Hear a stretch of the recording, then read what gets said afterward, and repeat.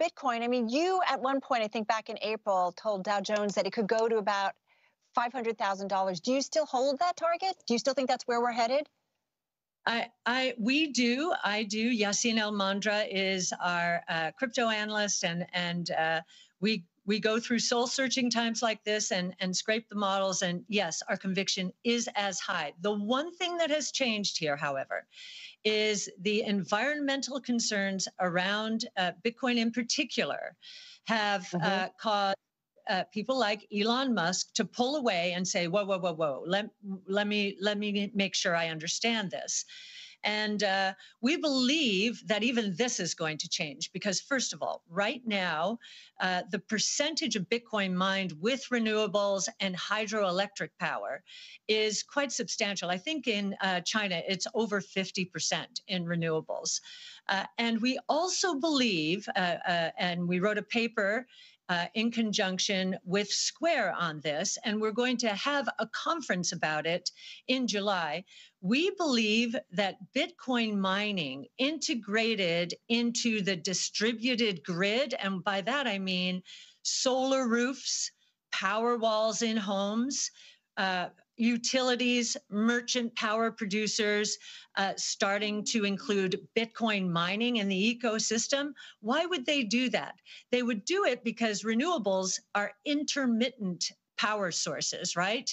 Weather, is it sunny or not? Wind, is it windy or not? And Bitcoin mining could take off if it's if there's excess energy uh, uh, from solar being loaded into power walls it can be offloaded into bitcoin mining and the whole ecosystem therefore becomes much more economic.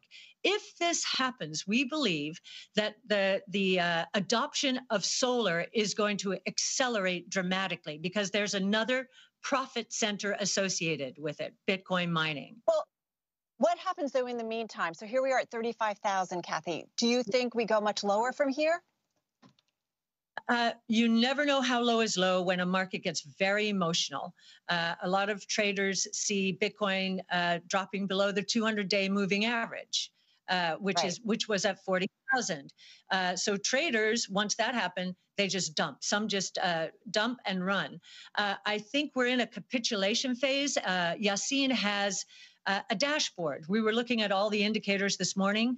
They are all suggesting that we are in the capitulation phase, which is a really great time to buy, uh, no matter what the asset is. A capitulation phase is buy, it's on sale. Now, a- am I saying 35,000 is the low? You know, if traders, uh, and there are a lot of speculators in, in Bitcoin, if they are uh, running for the hills just because uh, Bitcoin has broken through a moving average that is important to them. It could continue, but uh, all of our indicators are saying this is capitulation right now.